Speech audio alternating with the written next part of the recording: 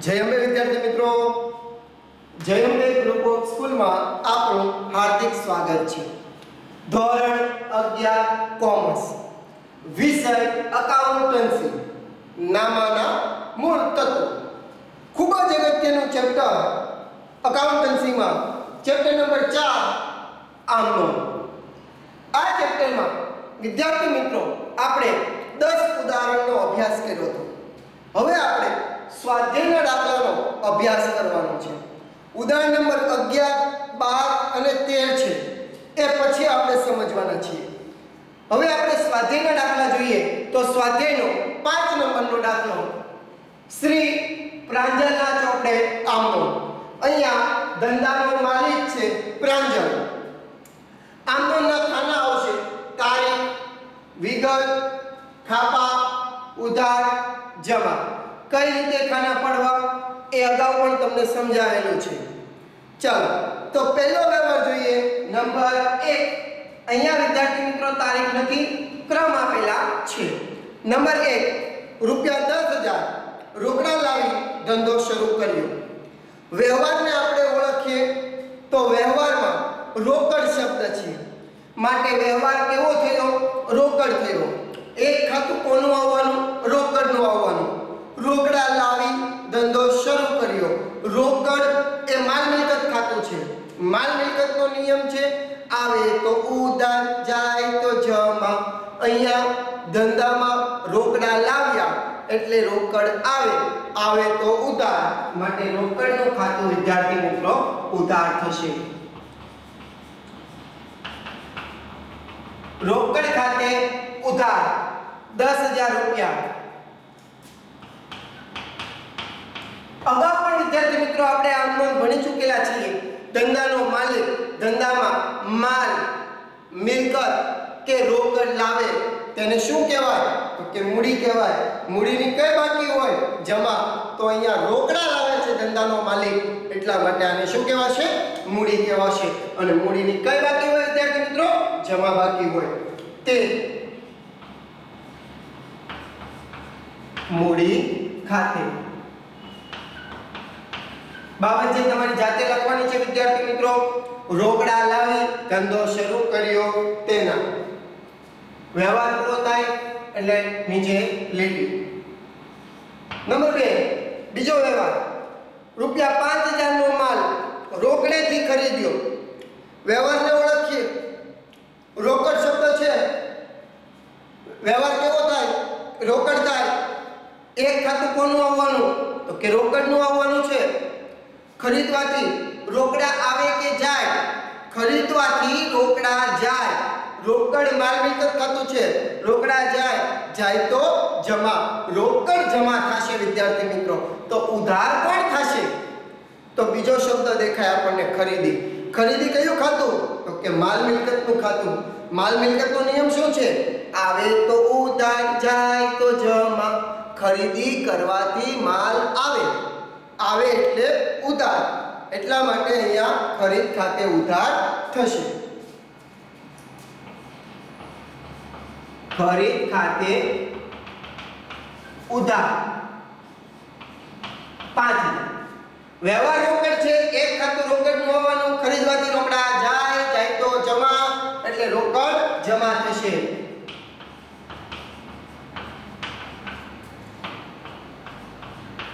બાબત છે માલ કરી ખરીદ્યો તેના. બાબત છે ફરજિયાત લખવી, વિદ્યાર્થી મિત્રો. નંબર ત્રણ. રૂપિયા આઠ હજારનો માલ રાજન પાસેથી શાક પર ખરીદ્યો. ચોખ્ખો શબ્દ દેખાય છે શાક. શાક કેતા ઉધાર. શાક કેતા ઉધાર. આ વ્યવહાર ઉધાર છે. અને ઉધાર વ્યવહાર હોવાથી રોકડનું ખાતું આવશે નહીં. તો બીજો શબ્દ છે, ઉધાર વ્યવહાર હોય તો એક ખાતું કોનું આવવાનું? તો કે વ્યક્તિનું આવવાનું. વ્યક્તિ કોણ છે? તો કે રાજન છે. બીજો શબ્દ આપણને દેખાય છે ખરીદી. ખરીદી એ માલ ખાતું. માલ નિયમ છે, આવે તો ઉધાર અને જાય તો જમા. ખરીદવાથી માલ આવે આવે તો ઉધાર. માટે લખાશે ખરીદ ખાતે.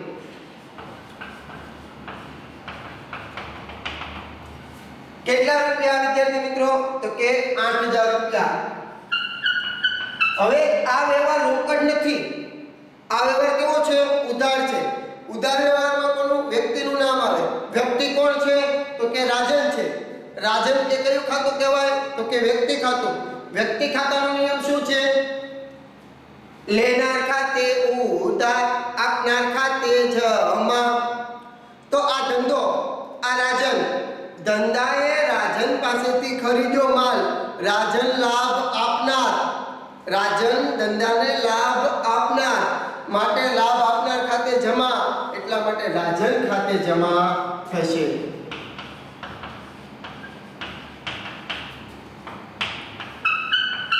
બાબતજી રાજન પાસેથી શાક પર માલ ખરીદ્યો તેના. જોઈ શકો છો રોકડ વ્યવહાર હોય તો રોકડ શબ્દ આવે. અને ઉધાર વ્યવહાર તો વ્યક્તિનું નામ આવે. નંબર ચાર. રૂપિયા બે હજારનો માલ ધર્માદામાં આપ્યો. આને કહેવાય અન્ય વિશિષ્ટ વ્યવહાર. અન્ય રીતે માલની જાવર અગાઉ પણ આપણે શીખી ગયેલા. ધર્માદામાં માલ આપો, જાહેરાતમાં માલ આપો, નમૂના તરીકે માલ આપો, માલ હાથમાં મળી જાય, માલ વરસાદમાં પલળી જાય, માલ ચોરાઈ જાય. આ બધા અન્ય વિશિષ્ટ વ્યવહાર. અહીંયા ધર્માદામાં આવ્યો છે માલ, અન્ય વિશિષ્ટ વ્યવહાર. અને અગાઉ પણ વિદ્યાર્થીઓ સમજાવેલું અન્ય વિશિષ્ટ વ્યવહાર હોય તો ખરીદી જમા થાય.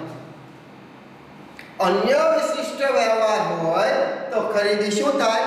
જમા થાય. એટલે અહીંયા ખરીદી જમા થશે તો કોણ ઉધાર થાય? ધર્માદા ઉધાર થાય. ધર્મા તો આપણો શું કહેવાય? તો કે ધર્મા તો આપણો ખર્ચ કહેવાય. એટલે ખર્ચ ખાતે ઉધાર. ધર્માદા ખર્ચ ખાતે ઉધાર. તે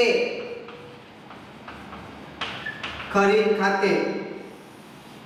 ધર્માદા ખર્ચ ખાતે ઉધાર. તે ખરીદ ખાતે બે હજાર રૂપિયા. બાબતજી બે હજારનો માલ ધર્માદામાં આપ્યો તેના.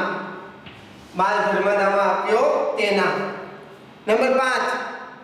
શિવાનીએ ત્રણ હજારનો માલ મોકલવાનો ઓર્ડર આપ્યો. મિત્રો, આપણે શિવાનીને કીધું કે ત્રણ હજારનો માલ મોકલી દે. આપણે કોણ છીએ? ધંધાના માલિક. અહીંયા ધંધાનો માલિક કોણ છે? તો કે પ્રાંજલ. પ્રાંજલે શિવાનીને ફોન લગાવીને કીધું શિવાની તું ત્રણ હજારનો માલ મોકલી આપ. આવો ઓર્ડર આપે છે. જ્યારે પણ ઓર્ડર આપવામાં આવે ત્યારે બિન આર્થિક વ્યવહાર. અને બિન આર્થિક વ્યવહાર નામાના ચોપડે લખાતા નથી. માટે અહીંયા લખવું પડશે બિન આર્થિક વ્યવહાર.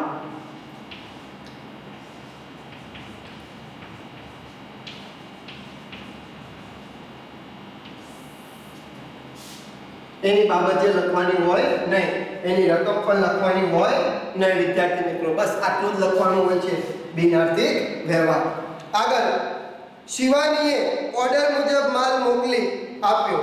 આની નોંધ થાય, વિદ્યાર્થી મિત્રો. શિવાનીએ આપણને ઓર્ડર મુજબ માલ મોકલી આપ્યો. આપણે શિવાનીને જે ઓર્ડર આપ્યો હતો, એ પ્રમાણે શિવાની માલ મોકલી આપે છે. તો ઓર્ડર કેટલાનો આપ્યો હતો? ત્રણ હજારનો. તો એ આપણને કેટલાનો માલ મોકલે? ત્રણ હજારનો. તો અહીંયા છઠ્ઠા વ્યવહારમાં ત્રણ હજાર રૂપિયા રકમ થઈ. શિવાનીને આપણે ઓર્ડર આપ્યો હતો. એનો અર્થ ખરીદી કરવી છે. આપણે માલની શું કરવી છે? ખરીદી કરવી છે. હવે અહીંયા શિવાની પાસેથી આપણે ખરીદવાનું છે. ખરીદી માલ મિલકત ખાતું, એનો નિયમ છે, આવે તો ઉધાર, જાય તો જમા. ખરીદવાથી માલ આવે આવે તો ઉધાર. માટે અહીંયા લખાશે ખરીદ ખાતે ઉધાર. રકમ ત્રણ હજાર. આ ક્યાંથી આવ્યો વિદ્યાર્થી મિત્રો? તો કે પાંચ નંબરના વ્યવહારમાંથી પાંચ નંબરનો વ્યવહાર છે આપણી પાસે. ત્રણ ના માલનો ઓર્ડર આપ્યો તો હવે અહીંયા રોકડ શબ્દનો ઉલ્લેખ કરવામાં નથી આવ્યો. વ્યક્તિના નામનો ઉલ્લેખ થયો છે. શિવાની. શિવાની કયું ખાતું? તો કે વ્યક્તિ ખાતું. તમને ખબર છે, ઉધાર વ્યવહાર હોય તો એક ખાતું વ્યક્તિનું આવે. માટે અહીંયા વ્યક્તિ તરીકે કોણ આવશે? શિવાની.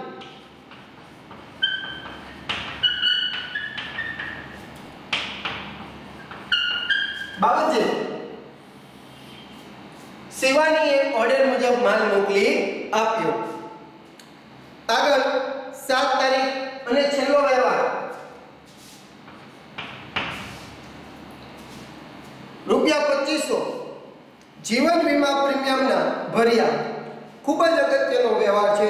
વિદ્યાર્થી મિત્રો, અહીંયા વારંવાર ભૂલ પણ કરે છે. પચીસો રૂપિયા જીવન વીમા પ્રીમિયમના ભર્યા. છેલ્લે શબ્દ છે ભર્યા. વ્યવહાર કેવો થાય? તો કે રોકડ. ભરવાથી રોકડા જાય. જાય તો જમા. રોકડ જમા થાય. તો બીજું અહીંયા શું દેખાય છે? તો કે જીવન વીમા પ્રીમિયમ. તો વિદ્યાર્થી મિત્રો, અગાઉ પણ તમને મેં લખાવેલું છે હાસ્યમાં અને અત્યારે પણ તમે હાસ્યમાં લખી નાખો, જીવન વીમા પ્રીમિયમ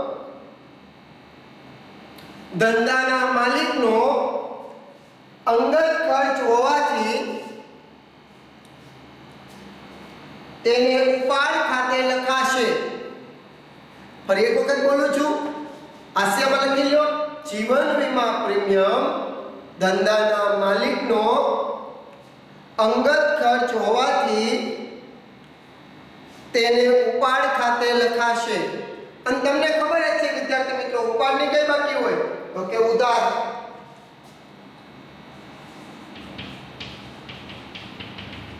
ઉપાડ ખાતે ઉધાર પચીસો. વ્યવહાર રોકડ છે. તે રોકડ ખાતે પચીસો. બાબત છે, જીવન વીમા પ્રીમિયમ ભર્યું તેના. અને હવે વિદ્યાર્થી મિત્રો, અહીંયા તમારે ઉપર એક લીટી, નીચે બે લીટી, અને અહીંયા લખવાનું આવે કુલ સરવાળો. હવે વિદ્યાર્થી મિત્રો, તમારે અહીંયા સરવાળો મારી દેવાનો. ચાલો આપણે મારી દઈએ. દસ ને પાંચ, પંદર. પંદર ને આઠ ને બે. પચીસ. પચીસ ને ત્રણ. અઠ્યાવીસ. અઠ્યાવીસ ને બે. ત્રીસ. ત્રીસ ને ઉપર પાંચસો, એટલે ત્રીસ પાંચસો. હવે વિદ્યાર્થી મિત્રો, આ સ્વાધ્યાયના દાખલા શરૂ થયા છે. આપણે દાખલા નંબર પાંચનો અભ્યાસ કર્યો. આવતાકાલના વિડિયોની અંદર આપણે દાખલા નંબર 6 નો અભ્યાસ કરીશું. ઓલ ઓફ યુ જય આપણે વિદ્યાર્થી મિત્રો. આભાર.